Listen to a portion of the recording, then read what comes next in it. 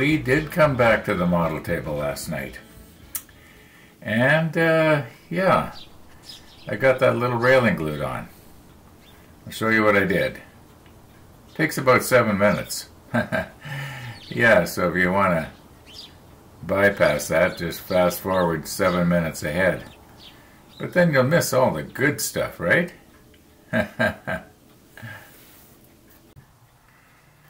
we are experiencing a beautiful spring evening here. And uh, I just want to take a close look here and see if possibly we are putting the railing in the wrong place. Now, I, I don't think so. I'm pretty sure I got it in the right place.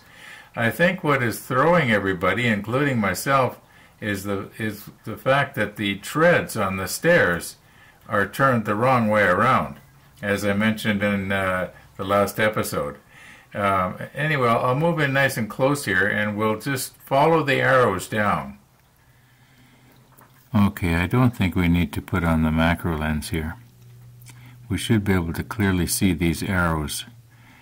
And, and it's been my experience with the trumpeter manual that if you follow the arrow from where it is connected onto the part and then go right down onto the place where it's supposed to drop, you, you can pretty well pretty well figure out where it's supposed to go here. Like a lot of these other arrows that you see, they've got they've got nothing to do with the railing.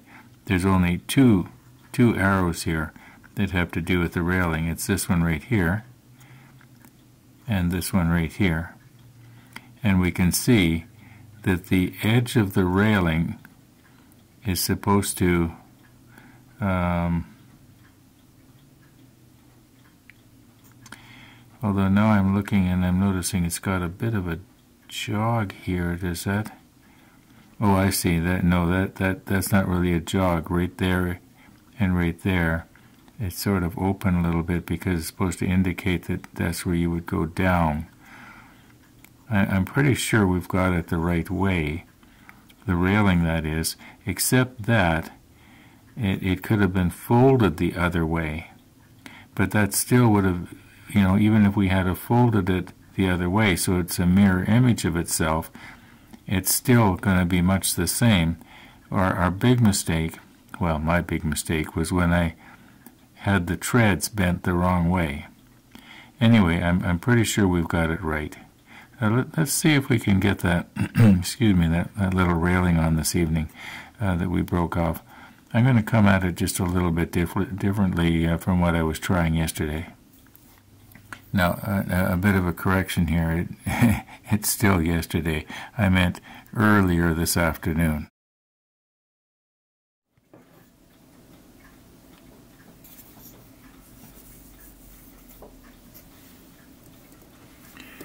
Okay, now, where's my glue applicator? Come on. Oh, here it is. All right. Now, normally I would uh, put some CA medium in my little cup here, except that the uh, thin that I've been using and uh,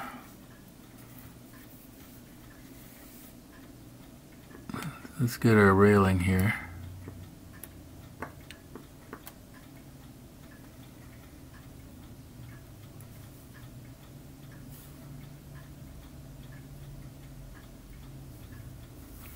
Okay, the, the thin that I've been using, excuse me, is uh, sort of thickened up a little bit. So what I'm going to do is I'm going to apply some thin right along the edge of this post.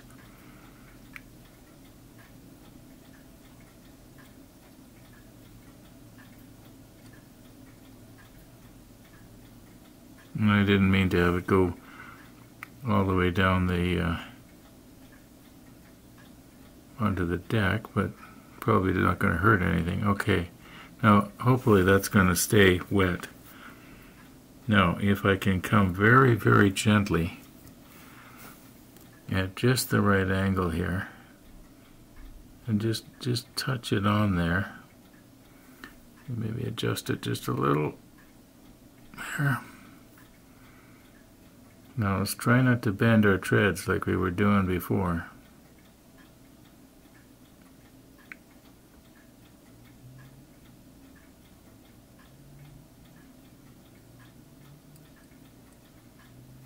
It's not wanting to stay there. There. Now that is not quite right. I'm going to take it off. Okay, I'm going to try something else. How would it be if I was to dip that one rail? No, that's not a good idea. Okay, I can't show you what I'm doing here.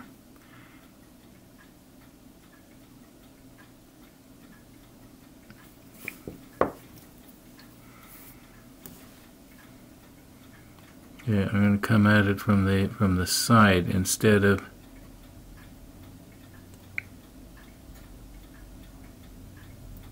Oh, almost had it there. If I could, if I could just let go of it when I get it in the right place.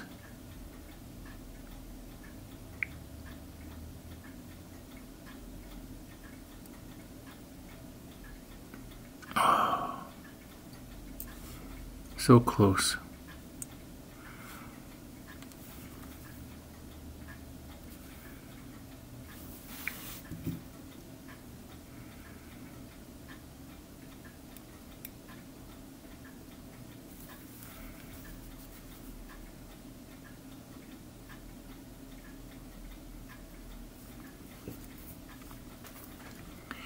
Maybe the CA medium would be better.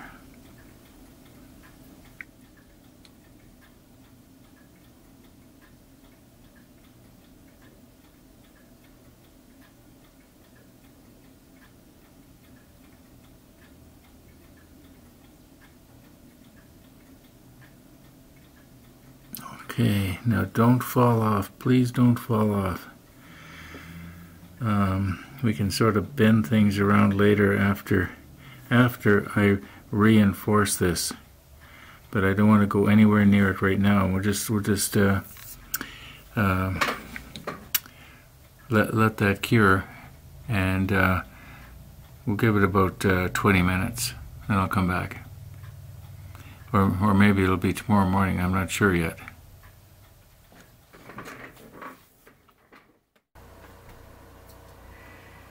Now, in yesterday's episode, part 824, at the beginning I made a rather serious mistake, and nobody seemed to catch it. At least I didn't get any comments. If anybody noticed, they were just too polite to say anything. Just watch and see uh, if you pick up on it. Well, I'll, I'll tell you what it is.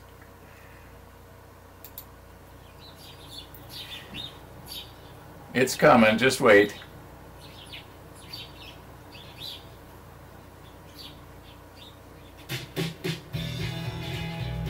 Eight thirty-four.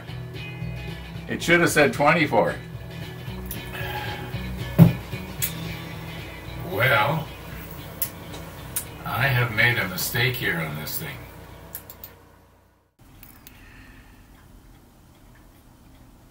Now the reason why I'm using the thin here instead of the medium is because my thinking is that the, the thin will work its way through the paint down to the photo etch a lot better than the medium, whereas the medium or thick is going to just sort of sit on top of the paint. So I'm, I'm thinking that the thin might be just a little bit stronger. And I uh, just want to reinforce that uh, connection that I made last night. Yep.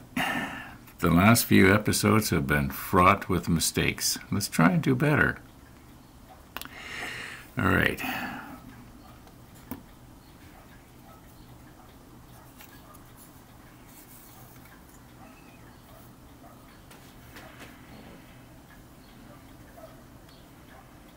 Okay, so we're going to want to try and glue this one right here. Just reinforce it. you don't have the macro lens on, but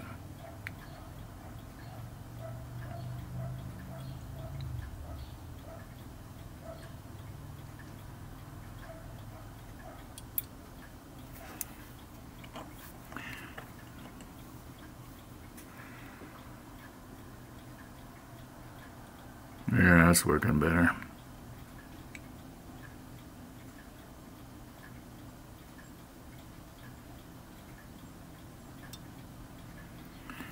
I don't think it's going to get much better than that. We'll give that about 20 minutes or so. And then, no, well, we'll talk about it when I get this turned around and we'll talk about those, those steps that are the wrong way around.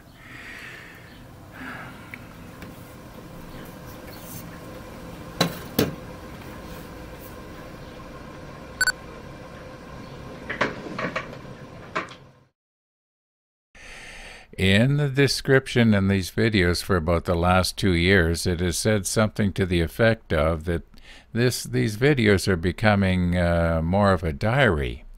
It actually says that, and um, yeah, and you, my my personal life is uh, kind of an open book, and you know a lot about me. But there's there's one thing that you don't know, and that is that uh, for the last uh, couple of years or so, I've had a, you might call a serious problem with water retention. Uh, my ankles and feet are quite badly swollen. And uh, when I went on my diet at the end of January, beginning of February, it was because I had become extremely alarmed as to how badly my feet had swollen. Now, once again, you're getting more information than you need, but you know this is this is a personal diary. Uh, I talk a lot about myself lately. I realize that uh, some of the viewers don't, the, you know, the model makers, they're not going to like this, and little by little, they're going to maybe drop off because they want to watch a model being made. They don't want to hear about an old man's aches and pains. Anyway, today I got myself a device that will help me to put on uh, compression stockings. I can't put them on by myself. Okay, I think I've cleared myself off a nice spot here. Now, uh, there's something I should clarify here. Well, actually, there's a couple of things. First of all, I, I had thought that this was going to be bigger than it is. Uh, anyway, we'll take a look at it. I know what it's supposed to look like. Uh, but I had mentioned that it was only about two years that I've had this problem, but thinking back now, I can remember over three years ago sitting in my mother's apartment and I didn't have my shoes on but she could tell by looking at my socked feet that my foot looked swollen. She mentioned it. So it, it goes back to over three years maybe maybe four. But uh, like I had started to indicate uh, it was it got really bad just after New Year. To the point that like I, I mentioned I was I was uh, quite alarmed and I didn't know what I was going to do because this this COVID thing. I didn't want to go to the doctor. I didn't want to go anywhere near a hospital or a clinic or anything like that. I mean, you want to get sick, you go to a clinic, right? I know that doesn't make sense, does it?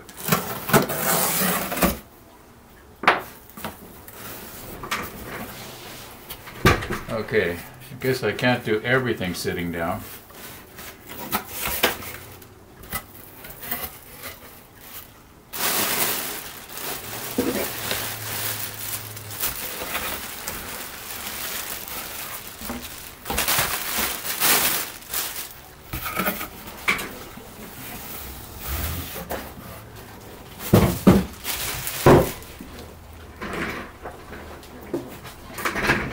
Okay.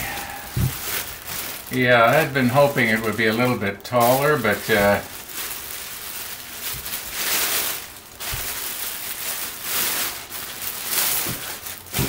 well, maybe it's going to be all right.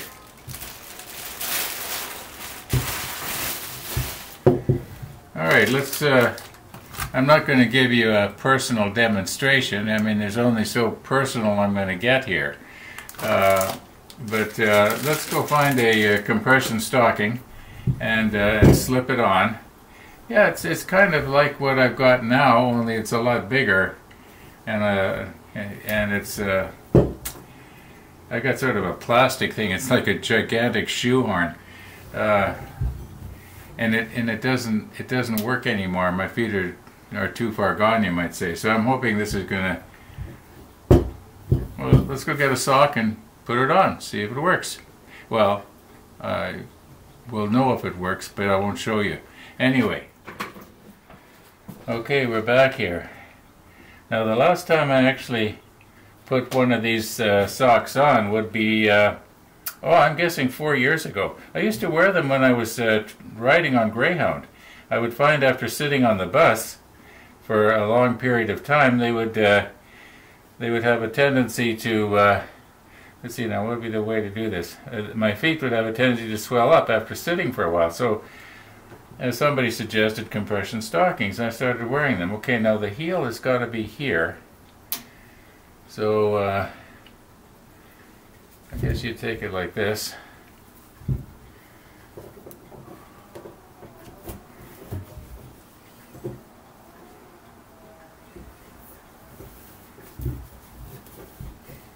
I do have a pair of special gloves that I wear. Maybe I could go and get them and they might work really good here for this. Okay, now where's the heel?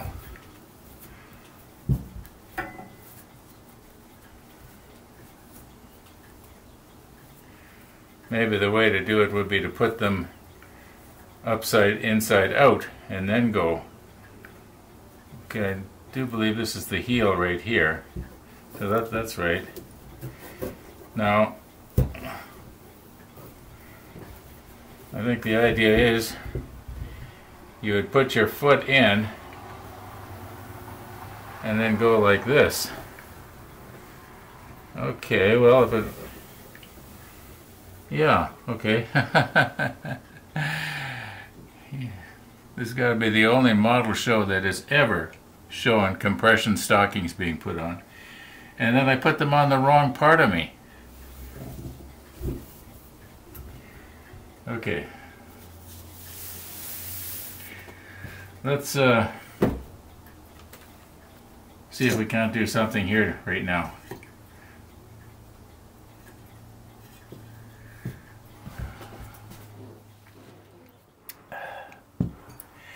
Okay, I'm wondering, do any of you other model makers have this problem? You unbox whatever, try it out, get it going, and then look at the instructions. Uh, now, mind you, I did know how this thing was supposed to go. Okay, I can see now that there's going to be no way that I can get these treads hooked onto this piece that we just glued on. Um, unless I was to, to break it loose back here and move the whole railing back a little bit. Now, I'm going to just see if I can't lift up this one thread. Oh no, that's what I was afraid of happening. I knew that that thread was going to let go. Oh, well, there is another thing we can do here.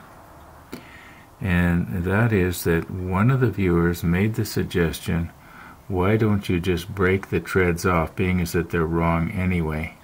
Just just break them off. And uh, at least the railings are going to be there. I don't think he said that, but that that's what he meant. So I, I think that maybe that's what I'm going to do. I'm just going to twist those off and be done with it. Uh, well, we had a lot of fun, didn't we? Yeah, I'm just going to go ahead and do this. Okay, for any of you who are making this model and you haven't gotten to this step yet, you will definitely know what not to make or what not to do. Now, oh, I, I had thought that that was going to go up and down nice and easy and I'd just be able to I'm going to end up breaking something else. Um, hold it with my finger maybe pry against myself. There we go. No down, no up, no down. Okay, one more to go. Go up and down. Okay, we got that one off. And these two I think are already broken, aren't they?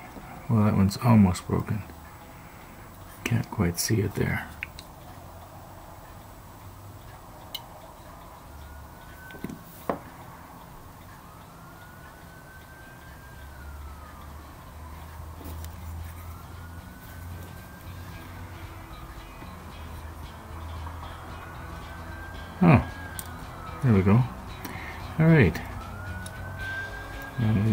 Just straighten this just a little bit. So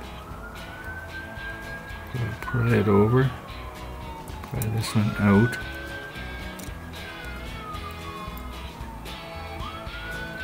I've got my windows open, you can tell.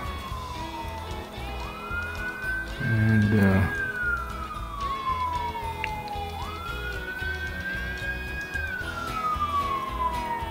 It was uh, 31 degrees Celsius the last time I checked. It beautiful outside. I went outside and sat in the backyard where, where my neighbor was yesterday. He was out there again and with his little dog and consequently we didn't get too much model making done today what with all the other stuff going on. Okay, so I have taken that uh, viewer's advice and uh, I'll get these out of here. And uh, yeah, it's too bad. It would have looked a lot better if there had been treads, but you know, that's the way it goes. You know what, folks? It is 10 minutes after 3 in the afternoon. I do want to have this uploaded by 5 p.m. Winnipeg time. So I'm going to call it quits here. And thanks for watching, everybody. And all being well, we'll see you tomorrow.